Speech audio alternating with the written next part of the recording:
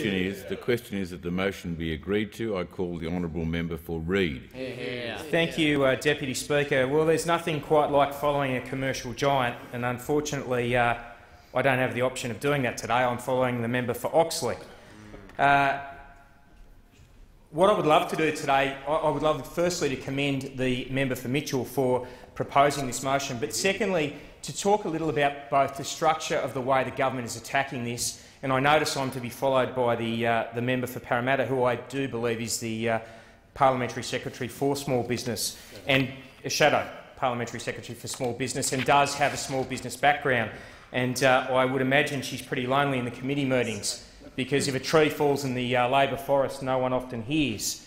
Uh, what I would like to do is talk about and, and praise the way the PM has, has, attacked this, the agenda and the difference it will make in the small business sector. And I want to focus on SMEs. We have an employment and an underemployment problem in this country, and it will not be solved by big business, to which the member for Oxley repeatedly referred. And I don't blame him because he comes from a union background, and they engage with big business day in, day out. This will be covered by SMEs, as it always has been and it always will be. And that is why this reform agenda is so important. The Prime Minister has seen fit to run this agenda out of his own portfolio. And in doing so, he has found the most capable man in the member for Kooyong and made him parliamentary secretary and tasked him with solely this responsibility. And it's an honour to be able to work with him on the New South Wales side as I have done over the past six months, to make a real difference. Because how this plays out, 70 per cent, the most recent figures, 70 per cent of the employment in this country is carried out by SMEs. It's not unionised.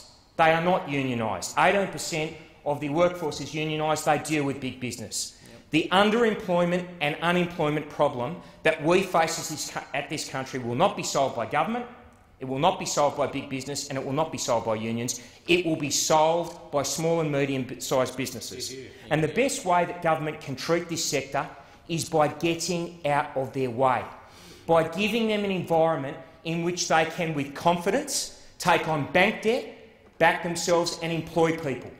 And there is no better illustration if you want to see what we should be doing first and foremost, as someone that comes from small and family business background, that can speak definitively on the topic, not read it in a textbook like the former Doctor of Economics Craig Emerson, who said in 2008 he promised to take a pair of giant pair of scissors to red tape. And we all know what happened. What happens on the ground and how this plays out the best example is the carbon tax. It attacks every expense in the profit and loss statement of every business in this country, irrespective of size. And it is a multiplier effect. It, it, passes through the supply chain so that the eventual supplier of the service to the consumer is in a position where costs are ratcheted up on a multiplied basis. Now, traditionally, business would treat expense increases by raising their prices, i.e. maintaining their margins. However, we've come through six years where at the same time of expenses ratcheting up under the former government, consumer confidence is shot to pieces. So what has happened? Small and family business cannot pass these price rises on. And what happens as a result is they absorb the cost, they, main, they, keep, they lose margin, their EBITDA, their earnings before income tax, depreciation and amortisation decreases, and employment suffers. And I'll tell you how it plays out on the ground, Deputy Speaker, in Reid. Small and family business people work longer hours themselves. They augment their trading hours. They do, they do things that are criminal by nature, unfortunately, and pay cash. This is how it plays out on the ground. And this is why this reform agenda is so important.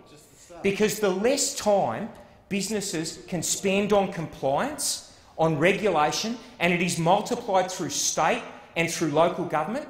And I am pleased to say that the member for Kooyong has identified this and I believe is working hard with the Prime Minister to make this a COAG reform item agenda because it is that important that we work with our state and local government counterparts. As someone that has faced red tape and regulation at all three levels of governments over the past 23 years, I not only commend the member for, member for Mitchell in what he's doing, more importantly, I commend the Prime Minister and the Parliamentary Secretary to the Prime Minister for the agenda, and for those opposite to sit here and belittle what we do shows the ignorance they have of the sector we promote and will get us out of the trouble we find ourselves in. Thank you. I thank the member for Reid for his contribution and